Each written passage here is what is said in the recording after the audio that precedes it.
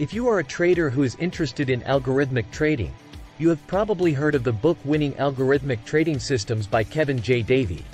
This book is one of the best resources to learn how to create and test your own trading systems using data mining, Monte Carlo simulation, and live trading. In this review I want to present you the main points of the book, its strengths and weaknesses and my personal impressions from reading it.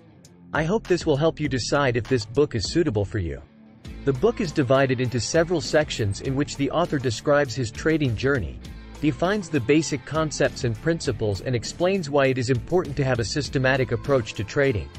He also discusses data mining, which is the process of finding potential trading ideas using historical data. The author shows how to use different tools and methods for data mining, how to evaluate the quality of the data, and how to avoid curve fitting, one of the biggest problems in algorithmic trading. The author also discusses Monte Carlo simulation, which is a technique for estimating the future performance of a trading system by randomly generating scenarios. The author explains how to use Monte Carlo simulation to test the robustness of the system, to determine the optimal position size, and to manage risk. A section of the book is also devoted to live trading, where the author shares his experience in moving from testing to the real market, dealing with psychological and technical challenges, and monitoring and improving the system. The book has many strengths. One of them is that it is written in a very clear and practical way. The author uses simple language and many examples and graphs to illustrate his points. The book is not full of mathematical formulas or complex algorithms, but rather focuses on concepts and techniques that can be easily applied to various markets and strategies. Another strength is that the author is very honest and open about his successes and failures. The author not only describes his own trading systems, but also shows their results using historical and real data. The author also points out possible pitfalls and mistakes that every algorithmic trader has made or can make. In this way, the author motivates the reader to continuously learn and improve. The book also has a few weaknesses.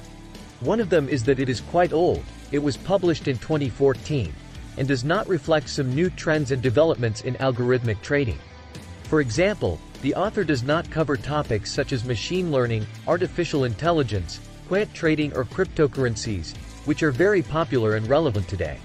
Another weakness is that the book is mainly focused on futures trading in commodity and financial markets. While the author claims that his methods can be applied to any market and time frame, he does not show this with any specific example.